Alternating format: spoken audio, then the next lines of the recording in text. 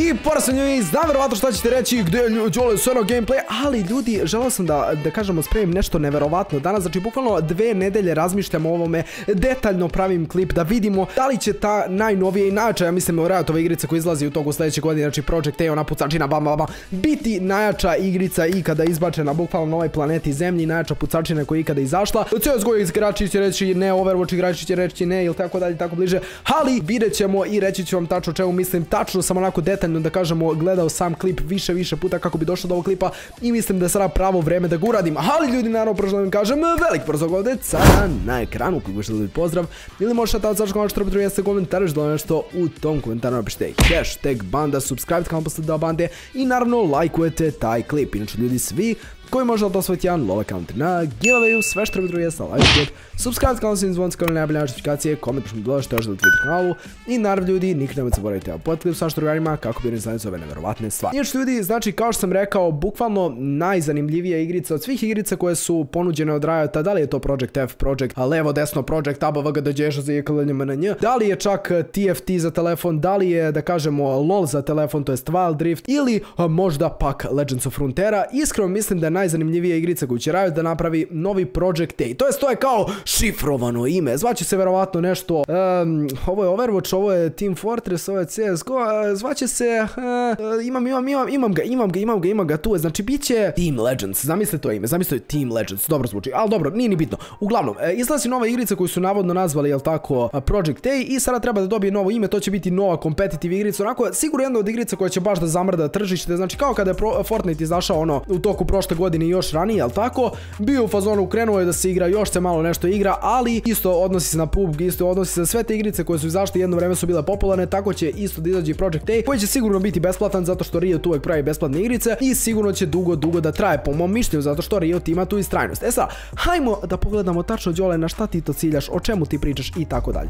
Znači, kao što možete vidite, reč je o novoj igrici projekat A od Riota, verovatno ste svi već ovo vidjeli i verovatno ste već pogledali mnogo klipova, ali danas želim napravim detaljnu analizu i da vidimo da li će zapravo Riot da izbaci najbolju igricu na svetu, znači bukvalno bez nekog preuveličavanja. Kao što možete vidjeti ovdje su neka braća, inače jako je bitno ovaj ovdje lik Ćelavi, je lik koji je dizajnirao, Ćelav ti ga vređaš, ne vređamo, ok?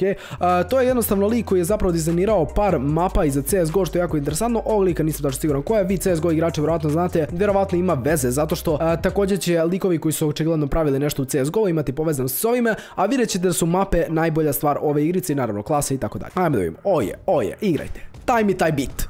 Daj mi taj copyright. Lagano, lagano, ok.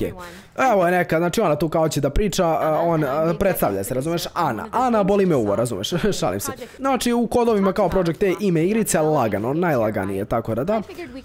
Ko mogli bi malo da pogaš, kao ona se pita, razumeš. Prave nove igrice, aj malo da te smanjimo, ženo, kristić mnogo, ok. I ova je drugačija, kaže drugačija, realno jeste. E sada ljudi, ono što sam ja primetio odmah vidjet ćete kroz ceo trailer i vidjet ćete mnogo će vam se svidjeti. Bukvalno svako ko je igrao ikada, da kažemo na neki način bilo šta kompetitiv ili ko je igrao pucačine, zna da je fora da vi trebate da vidite likovi. Sada čovjek kada bi pogledao prvu mapu Đole, znači igrice izgleda kao ki, ki, ki, ki, ki, ki, kiriki, ali ono što je zanimljivo ljudi, morate da se fokusirate. Znači, poente, u svakoj igrici koja je da kažemo FPS ili tako nešto, a pogotovo u igrici koja je FPS i koja ima da kažemo klase. Prvo što morate da vidite jeste da mapa bude smooth. I šta to znači?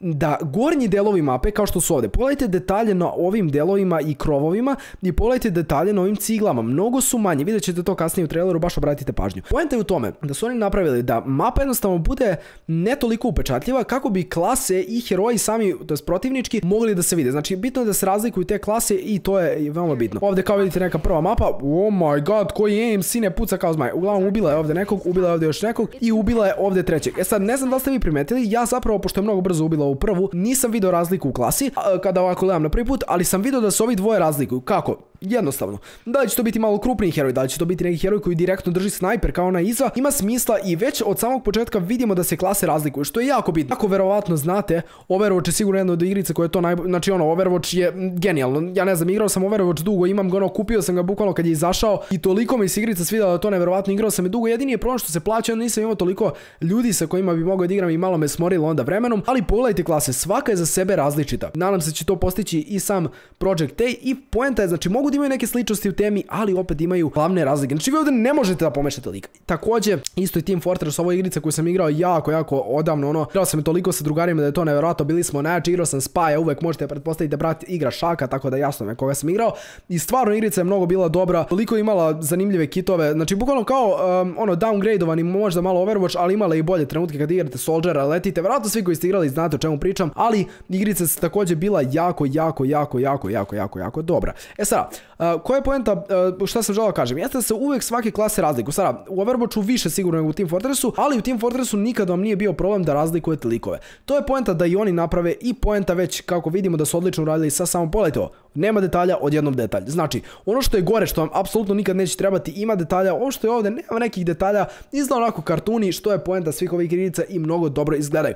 I već imaju neverovatan start, već imaju neverovatan start da naprave najbolju igricu, ali vidjet ćete posla o čemu pričam. I zašto ovo možda bude najbolja FPS igrica ili bilo što. Znači, kao neke malo u budućnosti što je opet cool.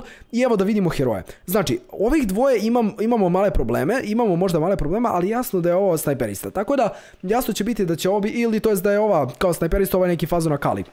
Jasno već da će tu imati promjene. Lik sa šeširom, dosta znači. Znači, dosta znači taj rad zato što može da promeni milion stvari. Znači lik sa šeširom daje taj neki uniqueness, ja suo lik daje taj neki uniqueness, crnac daje taj neki uniqueness, tako da jasno da je ako, ako nekog smisla, znači ovdje crnac iz Kenije pravi genije, jasno vidjeli ste crnca, on je kao neki mastermind, mogu da pretpostavim milion posto, ovdje ubi jednog lika glesara i pogledajte ovo, znači ovo ne verujem da je magija, nego mislim zapravo da ćete moći kao u CSGO da kupujete stvari, a da ćete opet imati i magije, zato što ovdje definitivno kaže da je ubila pumparom, ne bi džabe govorili da nije mogla da kupi, jel tako?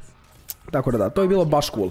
I ovdje, ovo je magija, definitivno kao što možete magija jako cool izgleda i ovo je neki lik koji će da bude povezan sada kažemo s granatama i tako dalje i dosta interesantno, iskreno, pogledajte, može da baci ceo zid, što redko možete vidjeti u FPS pucačinama, tako da, cool je, cool je, iskreno. unikatno je bar, unikatno je bar, tako da ovi likovi nemaju ruke što ova igra protiv njih, ali dobro, dobro, a, bang, tako da da.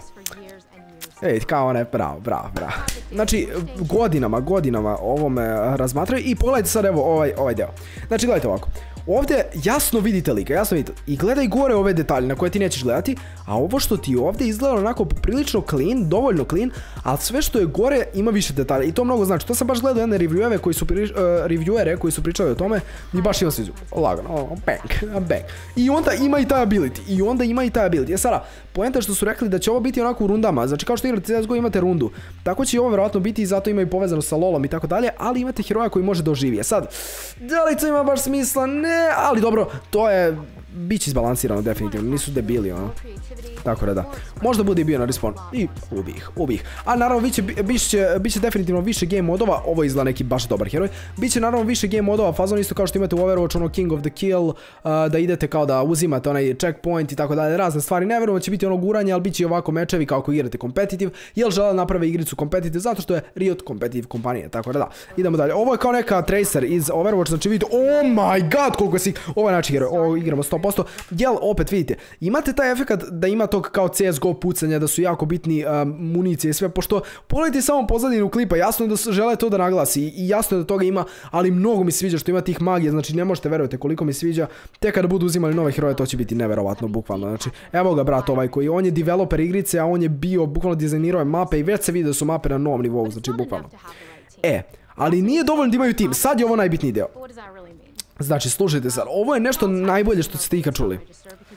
Znači, dosta se desi kada ste na nekim serverima, igrate nešto, može da se desi da ne opali lepo, može da se desi da tebe lik vidi malko brže, znači to u kompetitivu ne smije se dešava, to se dešava u CSGO i likovi iz CSGO-a znaju za to, imali su veliki problem s tome i, u tome i niko nije mogao da popravi taj problem. Sad o čemu pričam, gledajte sada, pogledajte pražnjamo, tako je tako je, jasno je da priča niko ne priča kao o niskom pingu, niko ne priča da će neko imati niski ping ili nešto i u svakoj igrici u LoLu možda ima najmanje, u LoLu možda ima najmanju prednost, iskreno, po mom mišljenju ja mogu da igram i na stoji nešto pinga pa ću možda biti bolji od onog koji je lošiji od mene, ali ili na primjer ti koji si bolji od mene, ali poenta je u tome da jednostavno nekad, pogotovo u ping mnogo znači. I ono što je najbitnije, hertz servera, sad ćemo pričati o čemu, šta to znači i o čemu se odnosi, to je osveženje servera. Znači, pogledajte ovo, kao što možete primijetiti, već rade na ovome i pokušavaju da, da kažemo da pomognu tome. E, Znači, ovo je u pingu koliki lag postoji i žele da jednostavno smanje taj lag. E sad, svaki server zapravo ide na 60 Hz i sad koliko da vi imate monitor od 240 Hz, to će naravno mnogo značiti ako opet grafička može da digne toliko frameova, verujem da dosta vas razume, ali je poenta u tome da jednostavno dosta servera može da blokira tu vašu prednost koju bi vi mogli da imate, e, nevezano za vaše FPS ili tako nešto, ali mogli bi da imate tu prednost. I jednostavno, sam server bi mogao da smanji dosta ping kako bi to teklo više i više smooth. Možete vidite koliko je, koliko ovdje više smooth nego gore. Vidite koliko se javlja tog seckanja koji se javlja u raketnim igricama. I ako oni ovo urade, bit će najbolje kompetitiv igrice, jer kompetitiv igrači koji imaju jedino to bitno igraće, a i svi će igrati zašto igrica je jako clean, tako da jednostavno, jednostavno. Ali oni znaju BG, znači nismo, nismo i pametni, oni su pametni, oni prave, razumeš, tako da to je to. Naravno napravit će kao i neki anti-hack, svaka čast, bravo, majmun je ovam banana, ali kažu da će biti baš zanimljivo i kompetitiv, tako da je jako cool. Izgleda će snajper imati ovo da leti ovo nevjerovatno, fuck buraz. Koliko je cool, znači baš cool, ja kažem ovo sam pogledao dosta puta i stvarno mislim da, da mogu da naprave nešto nevjerovatno i stvarno mislim da ovo može da bude najbolja igrica od Riota ikada napravljena. Iskreno toliko imam nade u nju da je nevjerovatno. Ovu igricu sigurno snimamo i sve, znači isto iz Legends of i sve ćemo mi to snimati najverovatnije. Ali to su ipak igrice koje samo mogu da interesuju neke likove, obično malo starije likove i tako dalje. Ali ovo će definitivno interesovati sve. Igrica koja mora da pomeri dosta stvari. Ima dosta dizajna iz Lola, prebacit će se likovi iz Lola, igraće dosta ovo. Likovi iz Overwatcha sigurno će igrati ovo, a također likovi koji igraju CSGO. Tako da mislim će stvarno biti dobra igrica. Ako naprave tu nevjerovatnu kompetitiv scenu, ja se nadam će biti dobro. Opet kažem ljudi, opalite like i subscribe ako ste uživali. Zvoni mi taj telefon, ali nema veze. Zvoni mi telefon levo desno, tako da opet kažem like, share, sub, svi. Stvarno bi značilo malo opet kažem kasnim s ovim klipom, ali želeo sam da vidim te detalje na tim serverima, kako to zapravo funkcioniše i koliko ovo zapravo može da pomeri ceo gaming trend.